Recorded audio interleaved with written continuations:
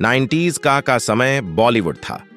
फिल्मी दुनिया में एक नए हीरो की एंट्री हुई थी। नाम था संजय कपूर हैंडसम, दुबला पतला अभिनेता जिसकी अदाकारी में जादू हुआ करता। हिंदी सिनेमा में गिनती के ही हीरो आए, जिनकी पहली या दूसरी फ़िल्म ने बॉक्स ऑफ़िस पर कामयाबी की आंधी चला दी हो।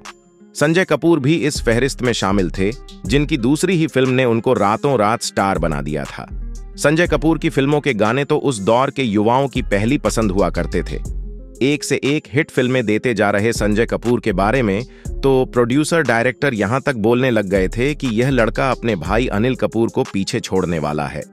मगर कोई नहीं जानता कि हिट पर हिट फ़िल्में देते जा रहे इस अभिनेता के साथ आखिर क्या हुआ था कि उसका पूरा करियर एक झटके में खत्म हो गया। एक्टर संजय कपूर को ऐसा धोखा मिला जिसने इनको गुमनाम कर डाला। कौन था वो अपना जिसका धोखा? संजय कपूर को बॉलीवुड में बर्बाद कर गया। चलिए, हम इस हीरो की पूरी कहानी सुनाते हैं। उन्नीस सौ उनहत्तर में एक फ़िल्म आई थी, एक श्रीमान, एक श्रीमती। इस फ़िल्म के प्रोड्यूसर थे सुरिंदर कपूर। बॉलीवुड के जाने माने फ़िल्म निर्माता। इनके घर ही 17 अक्टूबर 1965 के दिन सबसे छोटे बेटे का जन्म हुआ। नाम रखा गया संजय कपूर। मशहूर अभिनेता अनिल कपूर और फ़िल्म प्रोड्यूसर बोनी कपूर का सबसे छोटा भाई। संजय पढ़ने में बहुत अच्छे हुआ करते थे। पूरा परिवार फ़िल्मों में था, लेकिन वो तो बचपन से ही विदेश में जाकर खूब पढ़ना चाहते थे। पिता से बोला तो उन्होंने एक दफ़ा वादा कर दिया, दसवीं में फ़र्स्ट डिवीज़न लाओ तो विदेश में पढ़ने भेज दूँगा। संजय लग गए पढ़ाई में और दसवीं का रिज़ल्ट आया तो फ़र्स्ट क्लास पास। फ़ौरन पिता के पास आए और बोले पापा विदेश भेजिए। पिता सुरिंदर कपूर भी विदेश भेजने की तैयारी कर रहे थे। लेकिन अचानक जिस फ़िल्म में उनका पैसा लगा था, वो सुपर फ्लॉप हो गई और उनके पास पैसे ही ना रहे। खैर, संजय का एक सपना भले पूरा ना हो पाया, लेकिन अब उनके मन में दूसरा ख्वाब पलने लगा। भाई अनिल को देखते देखते बॉलीवुड में हीरो बनने का उन्नीस सौ सत्तासी का साल था। पढ़ाई पूरी कर पिता से बोले, मुझे भी हीरो बनना है। बेटे की इच्छा जानते ही सुरिंदर कपूर ने इनकी लॉन्चिंग की तैयारी कर ली। उन्नीस की बात है। मिस्टर इंडिया बना चुके शेखर कपूर को डायरेक्टर बनाया गया। बॉलीवुड में मौका तलाश रही तब्बू को हीरोइन और संजय बने हीरो, दमदार कहानी थी। शूटिंग भी होने लगी, लेकिन अचानक शेखर कपूर को फ़िल्म से निकाल दिया गया। उनकी जगह सतीश कौशिक लाए गए। बड़ी मुश्किल से छह साल बाद फ़िल्म रिलीज़ हुई। नाम था प्रेम, मगर संजय की पहली ही फ़िल्म बॉक्स ऑफ़िस पर धड़ाम हो गई। एक बार लगा करियर खत्म, मगर लोगों को पता ही ना था कि वो प्रेम के साथ दूसरी फ़िल्मों की शूटिंग भी कर रहे थे। तभी तो अगले ही महीने आई एक और फ़िल्म, जिसने संजय कपूर को रातों रात स्टार बना दिया। वो थी माधुरी दीक्षित के साथ उन्नीस सौ पंचानवे में आई राजा। फ़िल्मों के गीतों ने तो पब्लिक को पागल कर डाला। दूसरी ही फ़िल्म से संजय कपूर बड़े स्टार बनने की राह पर निकल पड़े। बेकाबू, कर्तव्य मोहब्बत, औज़ार, जमीर जैसी फ़िल्में भले बड़ी हिट न हो पाई, लेकिन संजय कपूर ने हर फ़िल्म में दमदार एक्टिंग दिखाई। तभी तो फिल्मी जानकार यहाँ तक कहने लगे कि ये लड़का अनिल कपूर को पीछे छोड़ सकता है। उनकी बात भी सच होती दिखी जब कई औसत फ़िल्मों के बाद संजय कपूर की वो फ़िल्म आई जिसने उनको फिर से बड़े स्टार्स की लिस्ट में जगह दिलवा दी। वो थी प्रिया गिल के साथ 1999 में आई सिर्फ़ तुम, जिसमें दीपक बने संजय ने ऐसी शानदार एक्टिंग की जो किसी दूसरे के बस की बात ही ना थी। फ़िल्म सुपरहिट और संजय कपूर फिर से बॉलीवुड में छा गए। एक से बढ़कर एक फ़िल्मों के ऑफ़र आने लगे।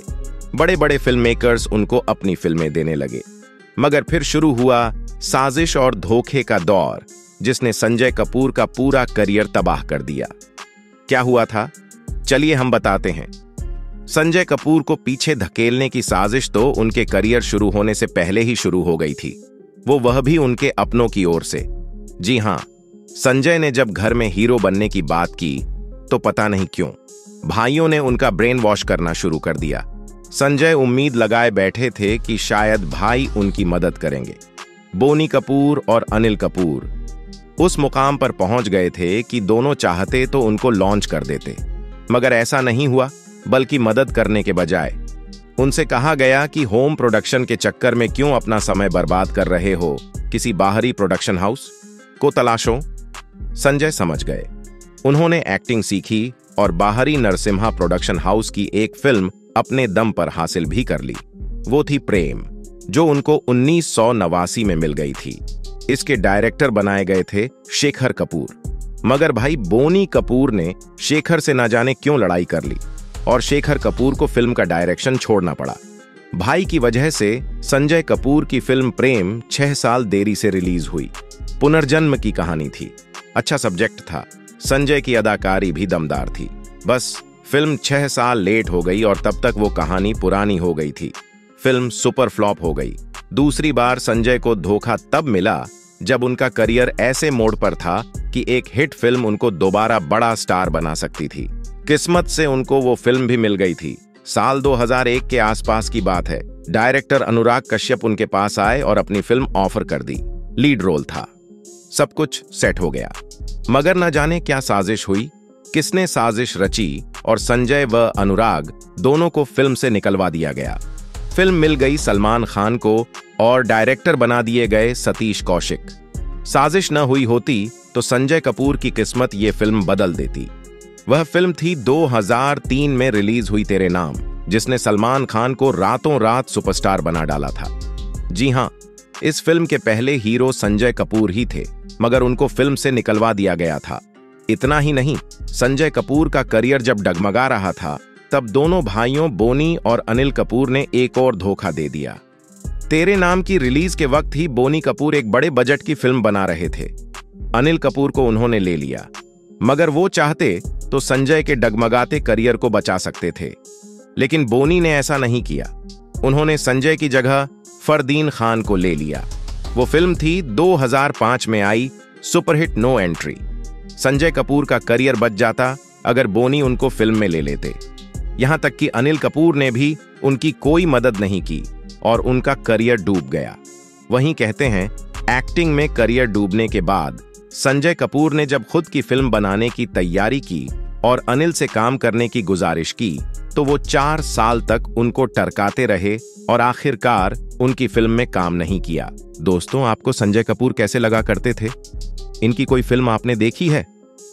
अगर हाँ तो हमें कमेंट में ज़रूर बताइएगा। ऐसी ही और स्टोरीज को जानने के लिए आप मेरे चैनल को सब्सक्राइब भी कर सकते हैं।